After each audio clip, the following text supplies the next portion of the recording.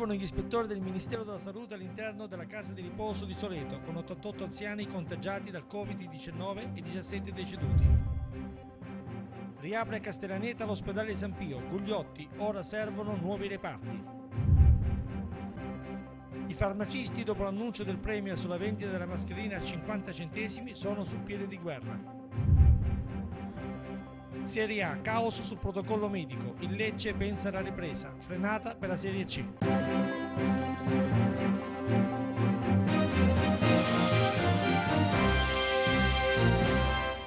Buon pomeriggio, arrivano gli ispettori del Ministero della Salute all'interno della residenza socio-sanitaria La Fontanella, la, RES, la RSA di Soleto, nel Salento con 88 anziani contagiati dal Covid e 17 deceduti. Intanto la Procura di Lecce ha aperto un fascicolo d'inchiesta. Sono arrivati alle 9.30 i carabinieri dei NAS insieme ad alcuni operatori dell'ASL di Lecce presso la RSA La Fontanella di Soleto, in collegamento remoto anche gli ispettori del Ministero da Roma. Nella casa di riposo dove dal 21 marzo ad oggi la pandemia coronavirus ha provocato 17 decessi e 88 contagi, si trovano attualmente ospiti 21 anziani, 17 risultati negativi e 4 positivi con sintomi lievi. L'ispezione odierna è frutto di un'indagine amministrativa e parallela a quella già avviata dalla Procura di Lecce e punta a verificare se siano state rispettate le indicazioni diffuse dal Ministero e dall'Istituto Superiore di Sanità per la tutela degli anziani ospiti. Da accertare anche quali siano le cause che abbiano portato a 17 il numero delle vittime e cosa è accaduto dal pomeriggio del 24 marzo alla mattina del 27 quando la struttura su ordinanza del sindaco è passata nelle mani della ASL e ora guidata, almeno fino alla fine del mese, dal medico Silverio Marchiello. Nei giorni scorsi, nell'ambito dell'inchiesta avviata dalla Procura di Lecce, sono stati iscritti tre nomi nel registro degli indagati, l'amministratore delegato Don Vittorio Matteo, la direttrice Federica Cantore e il responsabile sanitario Catello Mangione. I reati ipotizzati sono diffusione colposa di epidemia e abbandono di incapaci. È riaperto oggi nella sua pratica, praticamente totalità l'ospedale San Pio di Castellaneta nel Tarantino, chiuso per evitare il diffondersi del contagio. I sindaci della zona però chiedono nuovi reparti, in particolare la rianimazione e il punto nascita. Tutti negativi, i quasi 500 tamponi effettuati e poi una completa sanificazione delle aree. Da questi presupposti riparte l'ospedale San Pio di Castellaneta, da oggi ufficialmente riaperto con tutti i suoi servizi. Sono soddisfatti i sette sindaci degli altrettanti comuni del versante del Tarantino che avevano sollecitato una maggiore risposta da parte dell'ASL di Taranto, ma adesso chiedono qualcosa in più che si pensi al punto nascite e anche alla rianimazione, servizi essenziali per fare di questo ospedale una vera eccellenza.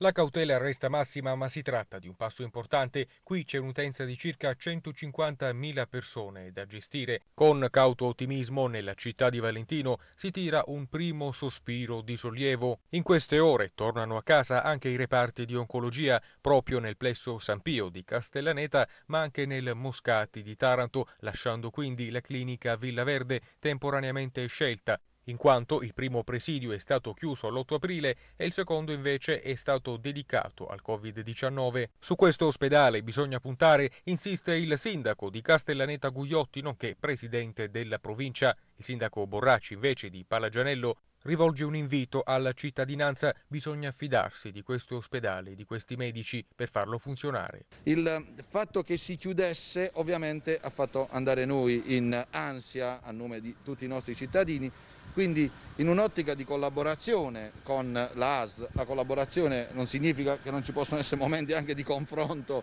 però siamo tutti dalla stessa parte, remiamo tutti nella stessa direzione, eh, tutelare la salute dei cittadini, quindi proprio con il direttore sanitario della AS di Taranto, oltre che ovviamente col direttore generale, ci siamo più volte confrontati perché quando loro ci hanno comunicato la chiusura del presidio all'interno di una strategia che era di contenimento dell'epidemia, eh, ovviamente una scelta fatta da loro con i loro tecnici che hanno eh, deciso di passare ad una strategia più radicale, quindi di chiusura e igienizzazione di tutto l'intero plesso, beh, noi subito siamo intervenuti e abbiamo preteso, ma ripeto in termini costruttivi, di conoscere la data di riapertura e soprattutto gli interventi in calendario che dovevano portare quindi ad una riapertura in sicurezza. È solo un ripristino logistico perché mai è stato dismesso quell'attività interdisciplinare e gli assist mi sono stati offerti dai due che mi hanno preceduto, dal dottor Colacicco, direttore sanitario dell'ASL e dal sindaco per eh, confermare la fiducia che bisogna avere verso questo nosocomio anche perché il Covid ha voluto mettere in realtà quel sistema che noi avevamo costituito.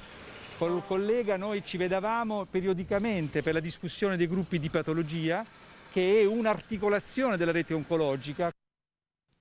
Il primo decesso da Covid nel Tarantino, il sindaco di Ginosa fa il punto della situazione. È stata una giornata abbastanza pesante.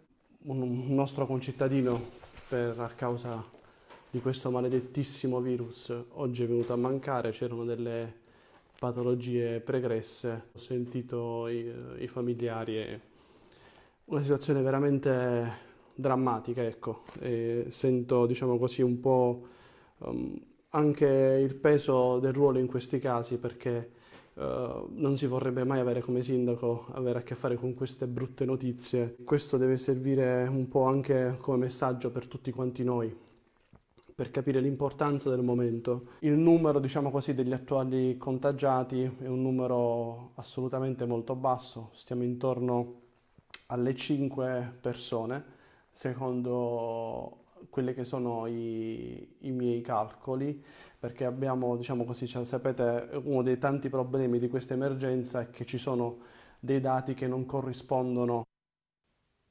E l'ospedale di Mottola potrebbe diventare un hospice. Intanto è stata attivata la fisioterapia lì dove già da alcune settimane si trattano i pazienti post-Covid chiuderebbe al meglio il cerchio delle strutture sanitarie tarantine, l'hospice che potrebbe realizzarsi all'ospedale di Mottola, un'anticipazione fornita alla nostra redazione dal primario di oncologia tarantino Visconti. Intanto nel presidio Umberto I del comune a sud della Murgia è stato attivato proprio in queste ore il servizio di fisioterapia per i pazienti del post-Covid coloro che hanno superato la fase acuta della patologia ma che essendo ancora positivi necessitano di tempo e cure per negativizzarsi. La malattia associata alle terapie somministrate e alla postura a cui i malati sono costretti per diverse settimane, spiega il dirigente responsabile dell'area riabilitativa Michele Fabiano, determina una ripresa più lenta, causando perdita della massa muscolare e difficoltà a riprendere una corretta coordinazione motoria. Al momento della dismissione i pazienti presentano difficoltà nella deambulazione e nei passaggi posturali,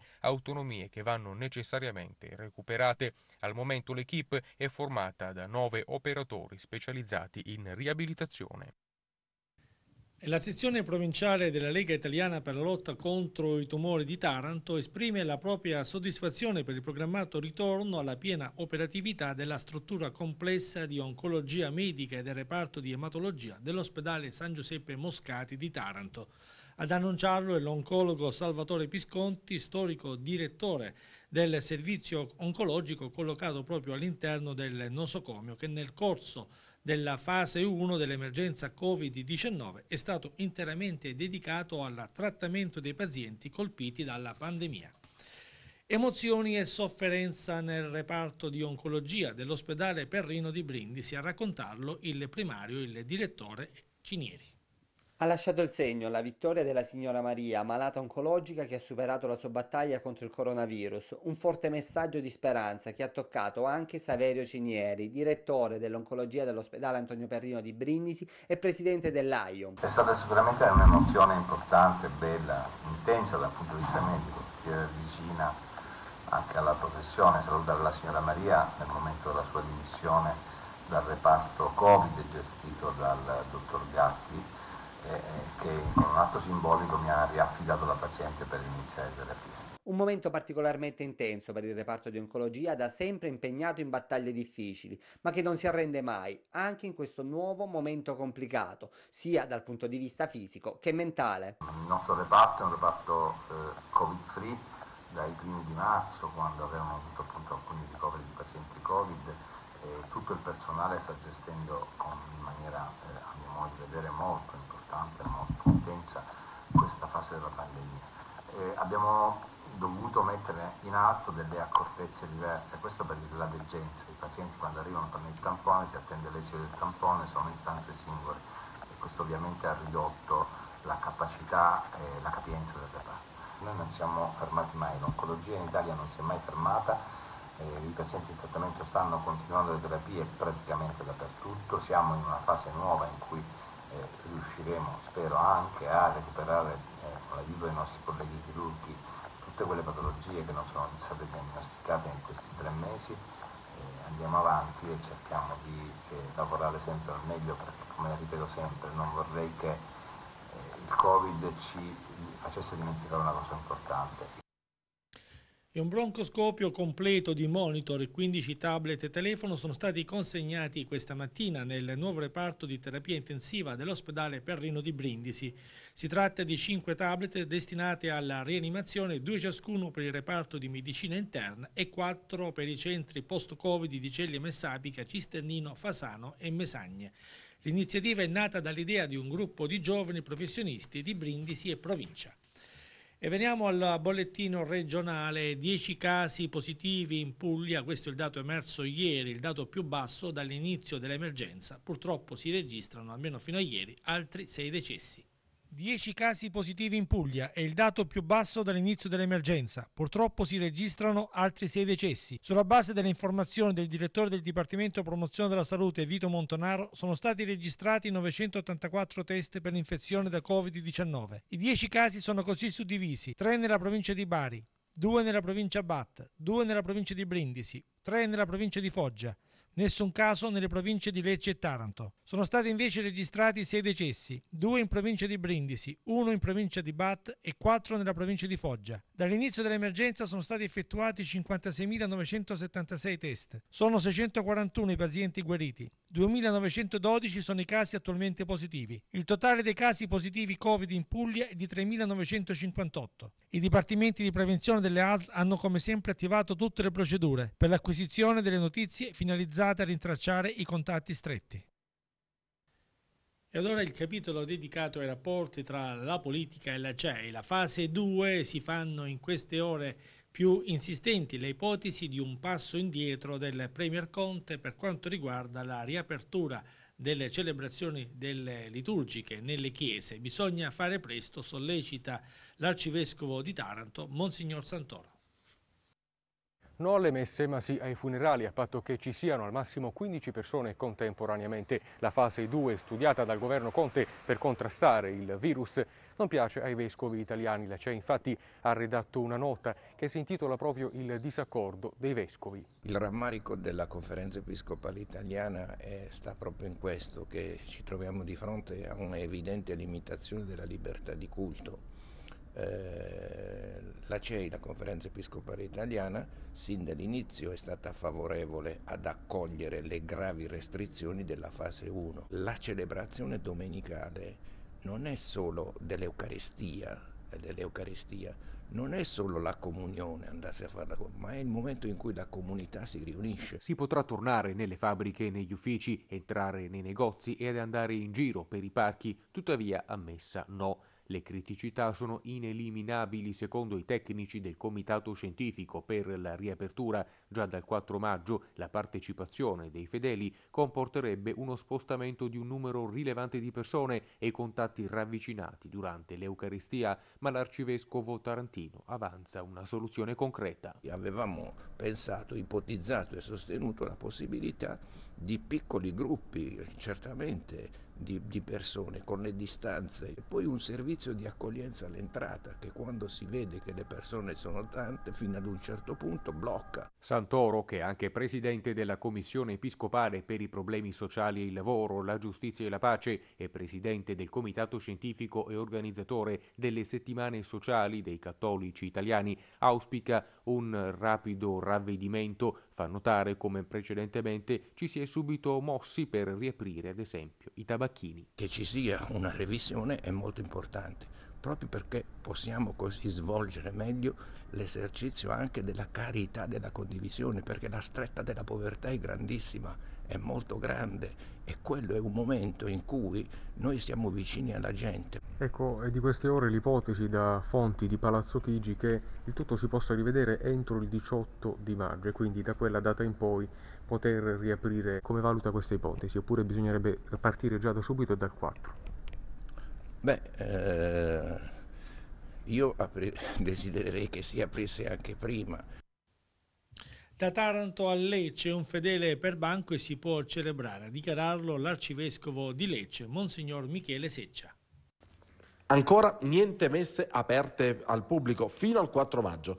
Il nuovo DPCM illustrato dal Premier Conte è stata una doccia fredda per i fedeli cristiani che continueranno a non poter prendere parte alle celebrazioni. Secondo quanto stabilito per la fase 2, infatti le uniche messe per le quali sarà consentita la partecipazione dei fedeli saranno i funerali che saranno aperti ad un massimo di 15 congiunti. Dura la risposta da parte dei vescovi italiani. Abbiamo sentito Monsignor Michele Seccia della Curia di Lecce che si è schierato con il resto dei vescovi d'Italia contro la scelta del Premier Giuseppe Conte. Personalmente ho detto ai parroci come primo punto che le chiese devono restare aperte perché chiunque decide, desidera entrare in chiesa per un momento di preghiera lo possa fare tranquillamente.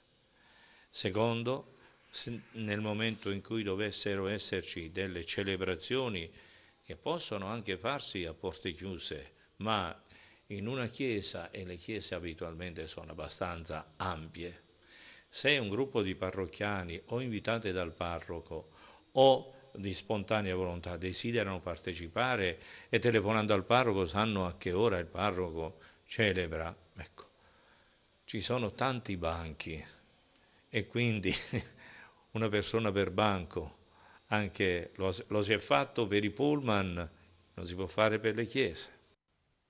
Ed ora passiamo alla cronaca, minacce di morte a due avvocati ed un politico. I poliziotti di Gallipoli hanno denunciato un 42enne. È stato individuato il presunto autore delle minacce scritte sui muri e non solo della città di Gallipoli. Il 14 e il 19 marzo le scritte ingiuriose hanno riguardato gli avvocati Luigi Suez e Fabrizio Ferilli. Il 21 e il 23 aprile invece l'ex parlamentare, nonché ex presidente della provincia di Lecce Lorenzo Ria e l'istituto di vigilanza Veglia. Le indagini affidate alla dottoressa Monica Sammati, dirigente del commissariato di Polizia di Stato di Gallipoli, hanno permesso di individuare attraverso un confronto calligrafico tra le scritte rinvenute a marzo ai danni dei due liberi professionisti e quelle rinvenute nei giorni scorsi. Gli agenti hanno anche analizzato i filmati delle telecamere presenti nella zona dove è stata rinvenuta la bomboletta spray utilizzata per le ultime scritte. I poliziotti hanno denunciato un 42enne del posto, incensurato, spinto da un rancore maturato per circa dieci anni nei confronti dell'Istituto di Vigilanza Veli al Pol per un'assunzione non andata a buon fine. L'uomo era convinto che nessuno gli avesse dato un aiuto per realizzare il suo desiderio nonostante, a suo dire, avesse chiesto l'intervento delle autorità e dei professionisti fatti oggetto anche loro delle scritte minacciose. E ancora cronaca, i carabinieri della stazione di Fasano hanno tratto in arresto per violenza e minaccia pubblico ufficiale, resistenza e lesione, ubriachezza un 41enne di origine pakistana in Italia senza fissa dimora, censito in banca dati e si era impossessato di un'autovettura nel parcheggio del centro commerciale Marco Stuni, 29 anni di Brindisi. Si trova ora agli arresti domiciliari a seguito della sentenza emessa dal GIP del Tribunale di Brindisi. I carabinieri invece della stazione di Celle Messapica hanno tratto in arresto un 22enne del luogo per detenzione ai fini di spaccio di sostanze stupefacenti. Denunciato invece a Francavilla un minore voleva andare in un'altra comunità ma danneggia gli arredi. A Paleggianello invece arrestato un 25enne per reati di danneggiamento ed estorsione continuata. Cambiamo a pagina, parliamo delle mascherine. Le mascherine del comune di Lecce sono state distribuite senza intoppi, polemiche invece per quelle a 50 centesimi. Le mascherine sono diventate essenziali nella vita quotidiana di ognuno di noi ed è importante reperirle in farmacia. In questi giorni sono state distribuite dall'amministrazione Salvemini attraverso la protezione civile alle classi più deboli. Vedremo se sono state tutte le farmacie le hanno ricevute e l'ultimo decreto ha previsto anche che per legge le farmacie debbano vendere ad un prezzo imposto di 50 centesimi. Ma sarà possibile? Il comune ha distribuito le mascherine da dare gratuitamente. Sono arrivate?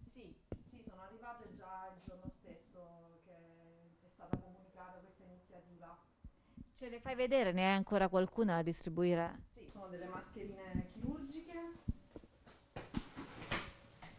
Sì, sì, sono arrivate. Sono state distribuite? Sì, ce ne sono ancora, ma sono state distribuite. Sono a norma, tutto regolare, giusto? C'è stata difficoltà nella distribuzione? No, nel mio punto vendita nessuna difficoltà. Per quello che prevede l'ultimo decreto, quindi la vendita delle mascherine a 50 centesimi a tutti i richiedenti, secondo voi è una cosa fattibile? È una cosa sicuramente fattibile, però eh, a mio personale parere non nel modo in cui è stata comunicata. Tutte le farmacie e parafarmacie si sono rifornite con dei prezzi decisamente superiori rispetto a quelli che ha indicato il governo. Quelle da vendere a 50 centesimi, a noi ne hanno fatto una spedizione di quelle cinesi che abbiamo dovuto mandare indietro perché non avevano alcun tipo di certificazione. Ora, trovare queste mascherine da vendere a 50 centesimi che siano certificate non, non, non sarà facile. Aspettiamo che, le, che ci diano indicazioni in merito. Queste sono quelle fatte dalle industrie italiane che si sono riconvertite eh, che hanno adeguato le loro, I macchinari, i macchinari a fare mascherine, quindi stiamo vendendo queste, sono anche lavabili, anche per aiutare un po' l'Italia in questo momento. No? E parliamo sempre delle mascherine, o meglio del caos. I farmacisti ottengono il ristoro. Abbiamo ascoltato a tal proposito un rappresentante. Il governo prova a mettere una pezza sulla questione mascherine. A farmacie e parafarmacie infatti sarà garantito un ristoro dallo Stato per permettere loro di vendere a prezzi non superiori a quelli massimi imposti, cioè 50 centesimi. Una scelta che però non fa felici i titolari che si sono ritrovati vittime di una scelta che mette questi importanti avamposti sanitari in cattiva luce davanti alla propria clientela. La situazione è molto complicata perché ovviamente è stata fatta questa comunicazione senza che nessuno ci avvisasse, nessuno che ci dicesse che cosa bisognava fare e verso cosa andavamo incontro. E quindi eh, da questa mattina praticamente le mascherine a 50 centesimi, almeno per noi, sono totalmente introvabili. Proprio la tutela dell'immagine del farmacista è una delle principali preoccupazioni dei titolari di queste attività. Assolutamente sì, purtroppo è comprensibile lo stato d'animo delle persone, in quanto ovviamente si sentono quasi truffate magari di aver comprato nei giorni scorsi, no? nei giorni passati, una mascherina chirurgica a 1,50 euro, 2 euro, a seconda di come ogni farmacia o parafarmacia possa averle acquistate per poterle rivendere. Noi sicuramente non siamo attualmente nelle condizioni di poterlo vendere a quanto ha detto il Premier eh, Conte. E dopo quasi due mesi di stop forzato per l'emergenza coronavirus, il Consiglio regionale pugliese tornerà a riunirsi lunedì prossimo 4 maggio alle 10.30 con collegamento da remoto in videoconferenza. Ed ora parliamo della sicurezza per dipendenti e cittadini, ovvero del trasporto pubblico a Lecce. I trasporti pubblici dovranno adeguarsi alle nuove normative anti-Covid. Le linee guida prevedono che venga assicurata l'igienizzazione e disinfezione dei mezzi su base quotidiana e la sanificazione periodica dei veicoli, prevista l'installazione, ove possibile, di dispenser di soluzione idroalcolica per l'igiene delle mani e proprio in questa direzione SGM ha già predisposto i primi interventi sui propri mezzi. Abbiamo limitato, abbiamo limitato l'ingresso agli utenti soltanto nella parte centrale dell'autobus e quella posteriore. Abbiamo inibito l'accesso della porta anteriore per far sì che comunque il conducente non abbia contatti con l'utente. All'interno dell'autobus comunque abbiamo limitato anche la zona diciamo, adiacente alla box dell'autista con questo cartello così come un divieto dall'interno in modo che i passeggeri non, non, vengano da questa parte. Quindi da questa parte non potrà venire nessuno, i passeggeri rimarranno sì, di là? rimarranno da quella parte e si serviranno delle due porte, la centrale e la posteriore, sia per l'ingresso sia per l'uscita. E per la vicinanza tra un posto e l'altro? Ci adegueremo quanto prima. Per la sanificazione come vi organizzerete? Tutti gli autobus vengono sanificati ogni giorno, quelli che vanno in servizio. Secondo lei sarà complicato mantenere questo adesso target insomma, di, anche di pulizia? Beh, il disagio c'è, ma comunque noi facciamo il possibile, quello che si può fare. Poi è chiaro che eh, dovranno verificare altre situazioni. Al momento stiamo tutelando la salute del conducente che comunque lui deve svolgere un servizio e ha necessità di avere almeno un isolamento dall'utenza, dall'affluenza.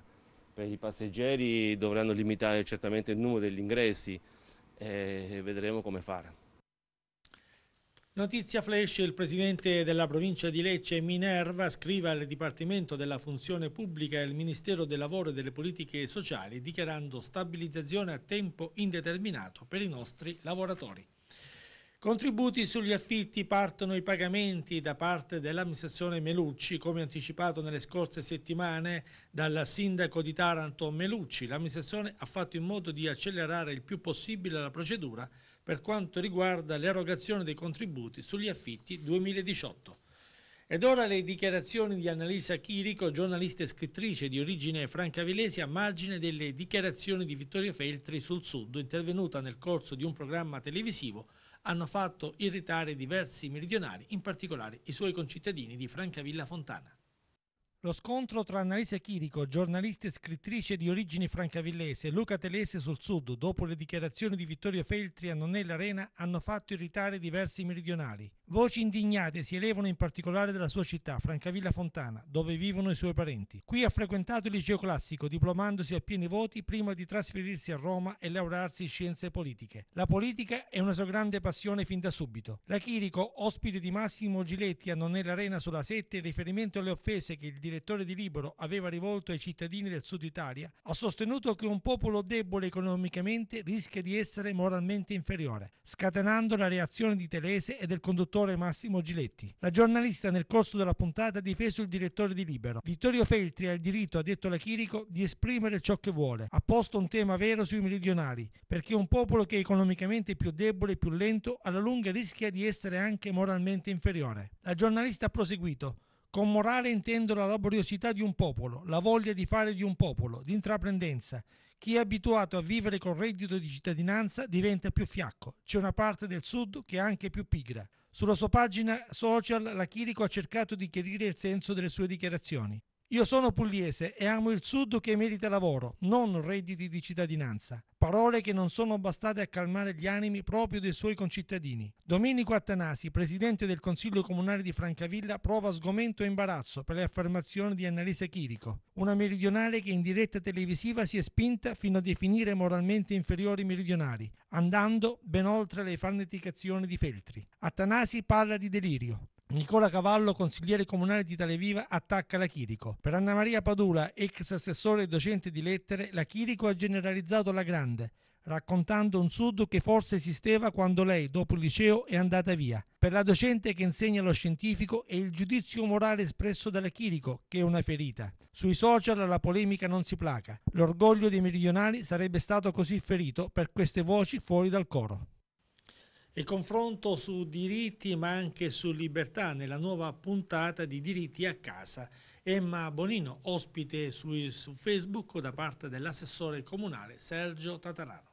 Libertà acquisita, negata, compressa, diritti e battaglie, in parte vinte, altre ancora, tutte da definire il ruolo della donna e delle donne, il sessismo, in sintesi in generale, la libertà. Di questo l'assessore comunale di Francavilla Fontana Sergio Tatarano ed Emma Bonino hanno discusso live in diretta nella puntata Facebook di Diritti a casa Format originale ideato da Tatarano che, tra ospiti e quarantena, ha innalzato l'asticella del confronto via social. La Bonino, ospite eccellente, ha affrontato attualità e storia senza al suo solito banalità, senza scorciatoie, senza rincorrere nulla che non sia legato a ideali radicati, ideali radicali. Abbiamo visto oscillare molto spesso No, da, da, una parte all'altra, chi eh, andava a prendere l'aperitivo perché doveva, doveva magari cercare di eh, smorzare le, la tensione, chi eh, dall'altra parte magari ha cercato di ehm, eh, inizialmente di chiedere la chiusura, poi l'apertura di tutto. Ecco, insomma, in, questo, in questa situazione di caos oggettivamente il Presidente del Consiglio ha avuto eh, delle responsabilità grosse e delle difficoltà, direi oggettive anche, no? nella, gestione, nella gestione della situazione. È evidente che dal punto, da tutti i punti di vista, compreso quello umano, tutti vorremmo uscire. Eh, no, non è che c'è qualcuno più spiritoso di altri o più irrequieto di altri. Dopo più di un mese, perché tutto è successo, me lo ricorderò come uno dei miei compleanni più indimenticabili, perché l'8 marzo era il mio compleanno, eh, passato in casa ovviamente, eh, quindi tutti vorremmo uscire. Questo non è che ce n'è uno di più, uno di meno. Poi c'è chi fa pesare di più le conseguenze economiche, chi fa pesare di più le conseguenze sanitarie. Ovviamente chi ha avuto parenti o amici morti è più sensibile. Quindi trovare un equilibrio eh, non, mh, mm, non, è stato facile con qualche errore di comunicazione, secondo me, eh, non necessario ma che è sfuggito di mano. Diritti a casa funziona, onore all'idea, al concetto, alla libertà che rivendica pensiero persino su Facebook, persino da casa, persino in quarantena. E drastiche misure di intervento per quanto riguarda il servizio Telegram e i quotidiani nel servizio di Giuseppe Andriani. Niente più giornali pirati su Telegram, la piattaforma di messaggistica che era stata presa d'assalto dai furbetti del web, che riuscivano a smerciare in una maniera estremamente facile da fruire i quotidiani, ma non soltanto. Dopo la denuncia della Federazione Italiana Editori Giornali e dell'Agicom, è un primo successo della Procura di Bari, che aveva avviato un'indagine e che ha aperto un'inchiesta, stimando danni per l'editoria di 670.000 euro al giorno, quasi 250 milioni all'anno. È stato notificato il provvedimento di sequestro a 5 indirizzi mail riconducibili ai rappresentanti legali di Telegram, società che ha sede a Dubai. Proprio da uno di questi indirizzi mail la risposta alla procura di Bari in inglese. Sono stati bloccati 20 canali web su Telegram. Gli iscritti a tali canali, il cui più popoloso contava quasi 200.000 utenti, è di 435.224 persone. Difficile però risalire colpevoli del furto di copyright. L'applicazione Telegram risulta sviluppata dalla Telegram LLC, con sede in Dubai, società nota per proteggere i dati e la privacy degli utenti. Allo stato attuale non sono identificabili gli amministratori dei singoli canali, ha spiegato la procura, proprio perché Telegram risultava il sistema più semplice semplice, quello più sicuro per chi aveva messo in piedi un vero e proprio sistema di truffa, peraltro con una facilità incredibile per chi scaricava il quotidiano o il libro, soprattutto da smartphone. Il provvedimento di Telegram, che spiega di non aver bloccato un solo canale perché non trovato e quindi probabilmente rimosso già in precedenza, spiega come l'app di messaggistica possa intervenire al contrario di quanto fatto in precedenza. Qualcuno sarà costretto a tornare in edicola e in ogni caso è finito il tempo dei giornali pirati su Telegram in attesa, tristemente, che la truffa si riorganizzi hanno compiuto 105 anni nello stesso giorno e nello stesso paese, San Vito dei Normanni. Ci spostiamo nel Brindisino, un uomo e una donna nati alla vigilia della Prima Guerra Mondiale, protagonisti di un record di longevità e di lucidità. Il servizio nella prossima edizione. Intanto a Castellaneta è partita, è stata data il via alla campagna anti-zanzare. Per le prime pulizie che ricadono proprio in questo periodo, solitamente quest'anno bisognerà attendere. Resta infatti un punto interrogativo in merito alle ville al mare. Tuttavia, qualcosa è certo, le zanzare non si fanno fermare nemmeno dal Covid-19. Così, proprio in queste ore a Castellaneta e nella sua marina partono i primi interventi della campagna di disinfestazione. Il programma, curato da Ciclat MSA, società che è in gestione il servizio di igiene urbana della città di Valentino, prevede 12 interventi da aprile sino a settembre, divisi equamente tra il borgo e la fascia costiera, di disinfestazione antilarvale, antialare, deblattizzazione e deratizzazione. Inoltre, prima novità di quest'anno, ci saranno 5 interventi straordinari che interesseranno specificamente i canali di bonifica delle campagne di Castellaneta. Le attività si svolgeranno nella notte a partire dalle 2 Ma le novità non si fermano qui. La campagna anti-zanzare sarà integrata con la distribuzione gratuita di apposite pasticche larvicida ai privati proprietari di ville con giardino. Il comune invita durante le operazioni a riporre le derrate alimentari all'interno delle abitazioni, ritirare l'eventuale bucato e tenere chiuse porte e finestre. È importante allora segnarsi queste date. Gli interventi interesseranno rispettivamente il Borgo e la Marina il 26 e 27 aprile, 24 e 25 maggio, 22 e 23 giugno, 20 e 21 luglio, 9 e 10 agosto, 6 e 7 settembre. I canali di bonifica 9 maggio, 20 maggio, 24 giugno, 29 luglio e 2 settembre. È tutto per questa edizione, non cambiate canale tra poco a seguire lo sport con il collega Giuseppe Andriani alle ore 15 lo speciale approfondimento coronavirus. È tutto, buon pomeriggio.